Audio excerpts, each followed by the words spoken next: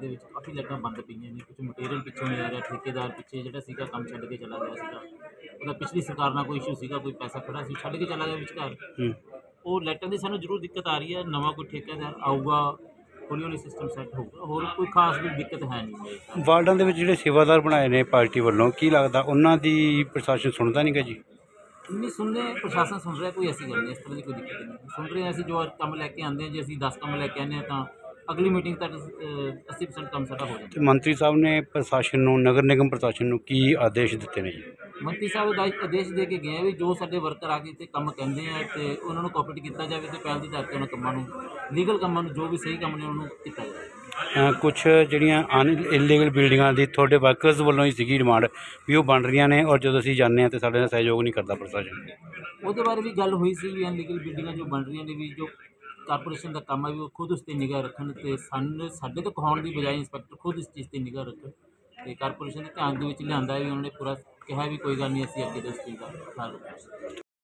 ਦੇ ਵਿੱਚ ਕੀ ਕੀ ਮੁੱਦੇ ਰਹੇ ਤੁਹਾਡੇ ਅੱਜ ਮੇਨ ਜੀ ਸਾਫ਼ ਸਫ਼ਾਈ ਨੂੰ ਲੈ ਕੇ ਸਟਰੀਟ ਲਾਈਟਾਂ ਨੂੰ ਲੈ ਕੇ ਬਾਕੀ ਜਿਹੜੀਆਂ ਦੁਕਾਨਾਂ ਸੀਲ ਹੋਈਆਂ ਪਈਆਂ ਉਸ ਰਿਗਾਰਡਿੰਗ ਅਸੀਂ ਇਸ ਮੀਟਿੰਗ ਦੇ ਵਿੱਚ ਚਰਚਾ ਕੀਤੀ ਗਈ ਹੈ ਤੇ ਸਾਡੇ ਮਾਣਯੋਗ ਮੰਤਰੀ ਸਾਹਿਬ ਡਾਕਟਰ ਬਲਬੀਰ ਜੀ ਨੇ ਪੂਰਾ ਭਰੋਸਾ ਦਿਵਾਇਆ ਕਿ ਸਾਰੇ ਕੰਮ ਪਹਿਲ ਦੇ ਤੌਰ ਤੇ ਹੋਣਗੇ ਤੇ ਪਟਿਆਲੇ ਨੂੰ ਨੰਬਰ 1 ਸਿਟੀ ਬਣਾਉਣ ਦੇ ਵਿੱਚ ਅਸੀਂ ਕੋਈ ਕਸਰ ਨਹੀਂ ਛੱਡਾਂਗੇ।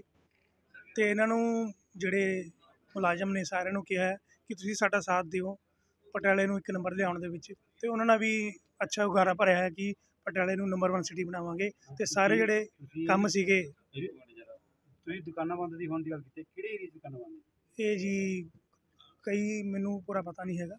ਜਿਨ੍ਹਾਂ ਨੇ ਵੀ ਦੱਸਿਆ ਹੈਗਾ ਅਲੱਗ-ਅਲੱਗ ਏਰੀਏ 'ਚ ਨੇ। ਜਿਨ੍ਹਾਂ ਨੇ ਆਪਣੀਆਂ ਸ਼ਿਕਾਇਤਾਂ ਦੱਸੀਆਂ ਉਹ ਸਾਰੇ ਏਰੀਏ ਦੱਸ ਚੁੱਕੇ ਹਨ ਐਂ ਕੀ ਲੱਗਦਾ ਜਿਹੜੇ ਵਾਰਡ ਦੇ ਇੰਚਾਰਜ ਬਣਾਏ ਨੇ ਉਹਨਾਂ ਦੀ ਪ੍ਰਸ਼ਾਸਨ ਸੁਣਦਾ ਨਹੀਂਗਾ ਨਗਰ ਨਿਗਮ? ਕਿਉਂਕਿ ਉਹ ਵੀ ਆਪਣੇ ਤੌਰ ਤੇ ਫੁੱਲ ਐਂਡ ਫਾਈਨਲ ਮਤਲਬ ਪਾਰਟੀ ਵੱਲੋਂ ਅਥਰਾਜ ਨੇ। ਫਿਰ ਕਿਉਂ ਨਹੀਂ ਨਹੀਂ ਜੀ ਕੋਈ ਵੀ ਕੰਮ ਹੈ ਉਹਨੂੰ ਸਮਾਂ ਤਾਂ ਲੱਗਦਾ ਹੀ ਹੈ ਜੀ। ਕੋਈ ਵੀ ਕੰਮ ਹੈ ਨਾਲ ਨਾਲ ਨਹੀਂ ਹੁੰਦੇ। ਇਹ ਕੰਮ ਲੰਬੇ ਸਮੇਂ ਕਈ ਕਈ ਅੜਚਣਾਂ ਹੁੰਦੀਆਂ ਉਹਨਾਂ ਨੂੰ ਕਲੀਅਰ ਕਰਨ ਤੋਂ ਬਾਅਦ ਹੀ ਸਾਰੇ ਡਿਸੀਜਨ ਲਏ ਜਾਂਦੇ ਆ ਇੱਕੋ ਦਮ ਕੋਈ ਡਿਸੀਜਨ ਨਹੀਂ ਲਿੱਤਾ ਜਾਂਦਾ। ਜੇਕਰ ਏਰੀਆ ਵਾਈਜ਼ ਗੱਲ ਕਰੀਏ ਤਾਂ ਜਿਹੜੇ ਸੁਪਰ ਸੱਕਰਸ ਨੇ ਛੋਟੀਆਂ ਮਸ਼ੀਨਾਂ ਨੇ ਜਿਹੜੀਆਂ ਗੱਡੀਆਂ ਜਾਂਦੀਆਂ ਨੇ ਉਹਨਾਂ ਨੂੰ ਹਜੇ ਤੱਕ ਯੂਜ਼ ਨਹੀਂ ਕੀਤਾ ਗਿਆ ਤੇ ਖੜੀਆਂ ਮਤਲਬ ਜੰਗ ਲੱਗ ਰਹੀ ਹੈ। ਕੀ ਲੱਗਦਾ ਕਿ ਉਸ ਆਪਣੇ ਏਰੀਆ ਦੇ ਵਿੱਚ ਜਾ ਰਹੀਆਂ ਨੇ ਜਿਹੜਾ ਕਿ ਸੀਵਰੇਜ ਸਾਫ਼ ਕਰਨ ਨੂੰ?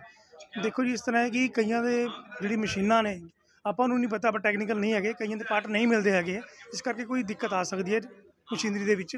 ਬਾਕੀ ਜਿੰਨੀਆਂ ਮਸ਼ੀਨਾਂ ਯੂਜ਼ ਤਾਂ ਹੋ ਹੀ ਰਹੀਆਂ ਨੇ। ਤੁਸੀਂ ਆਪਣੇ ਵੱਲੋਂ ਪਾਰਟੀ ਵਰਕਰਸ ਵੱਲੋਂ ਜਿਹੜੇ ਲੋਕ ਨੇ ਪਟਿਆਲ ਵੀ ਨੇ ਉਹਨਾਂ ਨੂੰ ਕੀ ਕਹਿਣਾ ਚਾਹੁੰਦੇ ਅਸੀਂ ਇਹ ਕਹਿਣਾ ਚਾਹੁੰਦੇ ਹਾਂ ਕਿ ਸਾਡੀ ਆਮ ਆਦਮੀ ਪਾਰਟੀ ਤੇ ਸਾਡੇ ਵਰਕਰ ਤੇ ਸਾਡੇ ਮੰਤਰੀ ਸਾਹਿਬ ਸਾਡੇ ਐਮਐਲਏ ਸਾਹਿਬ ਜਿੰਨੇ ਵੀ ਸਾਡੇ ਪੂਰੀ ਲੀਡਰਸ਼ਿਪ ਹੈ ਪਟਿਆਲੇ ਨੂੰ ਨੰਬਰ 1 ਸਿਟੀ ਬਣਾਉਣ ਦੇ ਵਿੱਚ ਲੱਗੀ ਹੋਈ ਹੈ ਪੂਰੀ ਸੇਵਾ ਵਿੱਚ ਹਾਜ਼ਰ ਹੈ ਤੇ ਅਸੀਂ ਹਮੇਸ਼ਾ ਹਾਜ਼ਰ ਰਵਾਂਗੇ।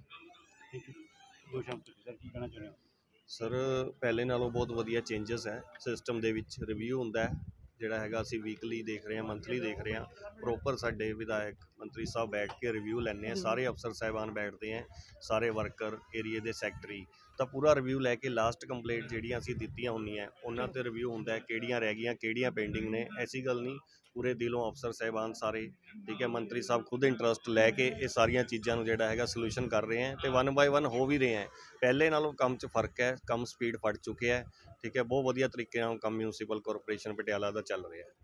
ਤਾਂ ਜਿਵੇਂ ਕਹਿ ਰਹੇ ਨੇ ਲਾਈਟਾਂ ਨਹੀਂ ਹੈਗੀਆਂ ਡਿਪਾਰਟਮੈਂਟ ਕੋਲੇ ਘਾਟ ਆ ਕੁਝ ਪਾਰਟਸ ਨੇ ਜੇ ਆਪਾਂ ਸੀਵਰੇਜ ਦੇ ਢੱਕਣਾਂ ਦੀ ਗੱਲ ਕਰੀਏ ਹਾਂਜੀ। ਸੀਵਰੇਜ ਦੇ ਢੱਕਣ ਵੀ ਅਵੇਲੇਬਲ ਨਹੀਂ ਹੈਗੇ। ਕੀ ਲੱਗਦਾ ਕਿੰਨੇ ਪਰਸੈਂਟ ਚਾਂਸਸ ਹੈਗੇ ਨੇ ਕਿ ਓਵਰਫਲੋ ਹੋ ਰਿਹਾ ਜਾਂ ਲਾਈਟਾਂ ਦੀ ਘੱਟ ਕਮੀ ਇਸ ਟਾਈਮ ਸਰ ਜਿਹੜਾ ਢੱਕਣਾਂ ਦੀ ਗੱਲ ਕਰ ਰਹੇ ਹਾਂ ਆਪਾਂ ਐਸੀ ਗੱਲ ਨਹੀਂ ਕਿਤੇ ਨਾ ਏਰੀਆ ਵਾਈਜ਼ ਨਾ ਸੈਂਟਰ ਬਣੇ ਹੋਏ ਆ ਜਿੱਥੇ ਇਹ ਸਾਰੀ ਅਸੈਸਰੀ ਰੱਖੀ ਜਾਂਦੀ ਹੈ। ਸਪੋਜ਼ ਇੱਕ ਏਰੀਆ ਦੇ ਵਿੱਚ ਅਸੈਸਰੀ ਹੈ ਉੱਤੇ ਢੱਕਣ ਲੱਗ ਰਹੇ ਹੈ। ਦੂਜੀ ਥਾਂ ਤੇ ਜਿਵੇਂ ਏਰੀਆ ਕੋਈ ਦੂਰ ਹੈ, ਉਸ ਤੋਂ 4-5 ਕਿਲੋਮੀਟਰ ਦੂਰ ਹੈ, ਤਾਂ ਉੱਥੇ ਲਿਜਾਇਆ ਜਾਂਦਾ, ਉਹਨੂੰ ਸਟੋਰ ਕੀਤਾ ਜਾਂਦਾ ਲੱਗ ਰਹੇ ਹੈ ਠੀਕ ਹੈ, ਐਸੀ ਗੱਲ ਨਹੀਂ ਹੈ, ਮੰਨ ਲਓ 15 ਢੱਕਣ ਹੈ 15 ਦੇ ਵਿੱਚੋਂ ਅੱਜ ਜਿਹੜੇ ਆ 3 ਲੱਗ ਗਏ 4 ਲੱਗ ਗਏ, ਉਹਦੀ ਰਿਪੇਅਰ ਹੈ, ਬਾਰਿਸ਼ ਦੇ ਦਿਨ ਨੇ, ਤਾਂ ਜਿਹੜਾ ਬੈਕ ਮਾਰ ਰਿਹਾ ਸੀਵਰੇਜ ਉਹਦੀ ਗੱਲ ਕਰੀਏ, ਤਾਂ ਵੱਡੀ ਜਿਹੜੀ ਹੈ ਸਕਸ਼ਨ ਮਸ਼ੀਨ ਹੈਗੀ ਹੈ, ਜਿੱਥੇ ਇਹ ਦਿੱਕਤ ਆ ਰਹੀ ਹੈ, ਤਾਂ ਸਕਸ਼ਨ ਮਸ਼ੀਨ ਰਾਹੀਂ ਉਸਦੀ ਕਲੀਨਿੰਗ ਕੀਤੀ ਜਾਏਗੀ। ਕੱਲ ਅਸੀਂ ਕੁਝ ਗਟਰਾਂ ਦੀ ਕੋਲ ਕੱਢ ਕੇ ਕਲੀਨਿੰਗ ਜਿਹੜੀ ਹੈਗੀ ਹੈ, ਕਰਵਾਈ ਹੈ ਲੇਬਰ ਤੋਂ ਕਿ ਉਹਦੇ ਵਿੱਚ ਮਲਬਾ ਭਰਿਆ, ਕਿਉਂ ਕਾਫੀ ਟਾਈਮ ਤੋਂ ਪਿੱਛੋਂ ਵੀ ਨਹੀਂ ਹੋਈ ਸੀਗੀ, ਠੀਕ ਹੈ, ਅੱਜ ਉਹ ਸਮੱਸਿਆ ਆ ਰਹੀ ਹੈ ਫਲੱਡ ਆ ਕੇ ਹਟਿਆ ਸੀ ਨਾ ਜੀ, ਤਾਂ ਫਲੱਡ ਆ ਕੇ ਹਟਿਆ ਸੀਗਾ, ਬਹੁਤ ਗੰਦਗੀ ਸੀਗੀ ਜਿਹੜੀ ਪਾਈਪਾਂ ਦੇ ਵਿੱਚ ਸੀਗੀ ਉਦੋਂ ਹੀ ਕਲੀਨਿੰਗ ਕੀਤੀ ਜਾ ਰਹੀ ਹੈ। ਸਿਟੀ ਦੇ ਵਿੱਚ ਜਿਹੜੇ ਵੱਡੇ ਨਾਲੇ ਨੇ, ਜਿਹੜੇ ਕਿ ਆਪਾਂ ਕਹ ਲਈਏ ਮੇਨ ਪਾਣੀ ਰੋਕਣ ਦਾ ਕਾਰਨ ਬਣਦੇ ਨੇ। ਹਾਂਜੀ। ਕਿੰਨੇ ਕੁ ਪਰਸੈਂਟ ਪੂਰੇ ਤਰ੍ਹਾਂ ਸਾਫ਼ ਹੋ ਚੁੱਕੇ ਨੇ? ਸਰ ਜਿਵੇਂ ਆਪਾਂ ਨਾਲੇ ਜਾਂ ਨਦੀ ਦੀ ਗੱਲ ਕਰੀਏ ਤਾਂ ਮਸ਼ੀਨਾਂ ਲੱਗ ਚੁੱਕੀਆਂ ਕਲੀਨਿੰਗ ਚੱਲ ਰਹੀ ਹੈ।